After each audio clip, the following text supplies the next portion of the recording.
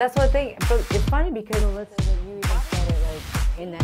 And all right, guys, welcome to Chasing Glory Speed, not Speed Round. Are you ready? Fire You're in the hot seat. I'm Are you nervous? I don't get nervous. I get sweaty. You're the big man. all right. Most embarrassing store you might have been seen shopping at. Fairvilla, What is a Fairvilla? adult sex shop. You're admitting it right here. Wow. Why not? Okay. Is a hot dog a sandwich? No, it's a hot dog. I mean, is the hot dog a sandwich? Oh no, it's a hot dog. I love it. Trick question. Some people call it a sandwich. I'm like, what? Really? No, it's a hot dog. You said it. All right. If you could have a superpower, what would it be?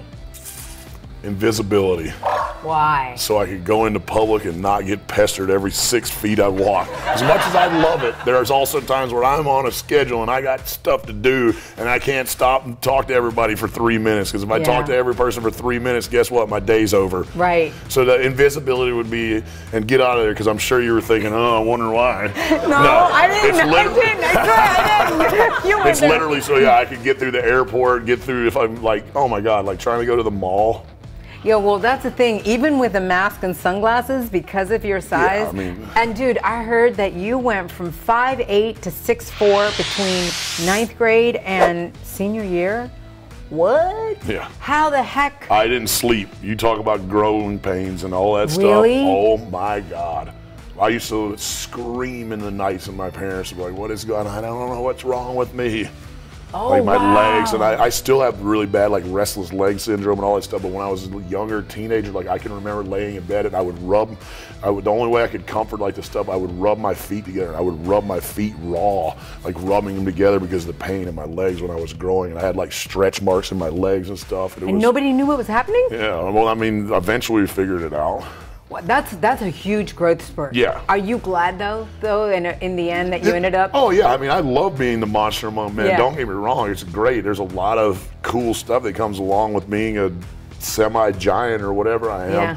But it's also it's a burden at times too. Like flying's not fun. Like uh, clothes shopping's a pain in the butt. Yeah, Big Show always talked about how going to Europe was like my- a nightmare yeah. because the beds were all Yeah, or yeah, they don't. I'm like, yeah, we got you a king room, and you go over there, and it's two twins pushed together with a sheet over top of them. And you like fall asleep, and you wake up in the middle of the night, and you're stuck between them, and then I'm freaking out because I can't get out of it. I'm sorry, I don't mean to laugh. No, it's, I can laugh at it, but it is. Yeah, yeah. We get a Oh. good mental image of that because it's happened multiple times. Really? Yeah. Oh man. Okay. right. All right. What is the biggest? What is your biggest pet peeve?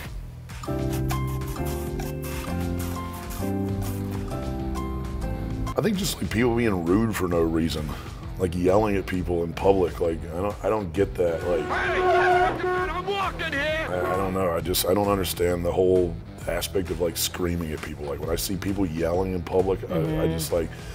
Why, why are you doing this here? Like if you're if you're having an altercation with your significant other or something like that, handle it in private. Like the whole rah, look at me like I'm angry. I don't know. That's one of my biggest pet peeves is just that like fighting out in public. Like handle yourself. Like act like you've been here before. That Right. whole thing. Like just yeah. Great that's one of my biggest pet peeves. Who inspires you? Man, a lot of people inspire me, but honestly, like my parents. I mean, uh, with the, the the strength that my mother has mentally, and then the things that my dad did, and, and playing ball. Like, I mean, they're my superheroes. And I know that there's a lot of second generation and third generation wrestlers that are here that followed in the footsteps of, you know, their parents or mother, father, whatever. Why did you not follow in your father's footsteps? Um, in all honesty, um, I knew I would never get out of his shadow.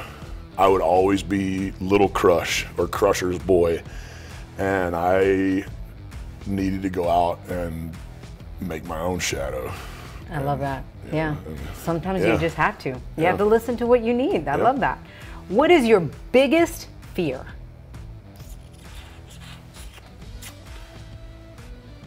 Being forgotten when I leave. Mmm. Don't worry. That will never happen because of the man you are. All right. If you could only eat one food for the rest of your life, what would it be? Oh, without a doubt, just steaks. Oh yeah. Oh, yeah, I eat. Well, I mean, that's pretty much all I eat now is red meat.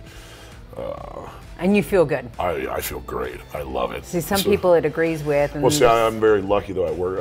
I, I eat a very specific type of beef. It's called the Piedmontese cow. It's only there's only a handful of ranches in the world that have it. So like the whole molecular structure of the beef is different through hundreds of years of selective breeding in these cows. Um, it almost the, the the proteins almost digest like chicken, so it doesn't sit in your stomach for a long time. And where six ounces of this beef has the same amount of protein as 10 ounces of store-bought beef, but half the fat. Well, how, how does the normal person get it? Can everybody Online, get it? yeah. What's it called again? Piedmontese. It's certifiedpiedmontese.com is, is the, or it's actually piedmontese.com is the website, but I've been eating that for almost a year now, and that's part of the reason why my huge change and stuff. Um, the Bell brothers, um, they both actually wrestled and stuff. Oh. They did the bigger, faster, stronger. Mark and Chris, and they, they're big uh, adversaries and kind of the forefathers for the carnivore diet. And that's what they started eating. So I reached out to them and was like, "Hey, what's up with this beef?" And then they kind of filled me in on it, and I started eating it and saw how much it started changing my body so dramatically and drastically, and how I felt better. Like I didn't have like as much inflammation because there's no hormones, no steroids, none of that bull crap Love it. like you get in the store like that, and the uh, that it's all Yeah. what you put in is what you're going to get out. Wow, that's great advice. Okay, and what is your favorite car to flip? Oh, favorite car to flip. In the grand scheme of things, I really don't like flipping cars. I love automobiles, but like I don't know. I, I also like breaking stuff. It was pretty fun flipping Vince's limo, except it cost me a hundred grand.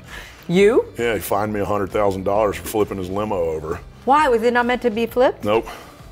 What? You wait. Tell me that story. Well, I was just I got aggravated and flipped it over. oh my god, I didn't know that. I didn't. know. So it was in the storyline or anything like that. Come on, Lilian. Ah, you had me. Ah, ah, out. After 21 years, I'm still getting cooked. oh man. All right. Well, thanks for joining me for Speed Not Speed Round. That was great. oh my god, you got me.